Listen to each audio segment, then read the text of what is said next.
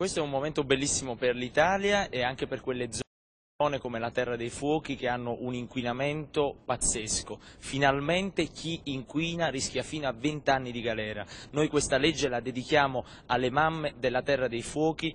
Tutte le associazioni, Lega Ambiente, Libera, WWF hanno riconosciuto che senza il Movimento 5 Stelle, senza la legge di Salvatore Micillo, deputato della campagna del Movimento 5 Stelle, non saremmo mai riusciti ad ottenere questo risultato.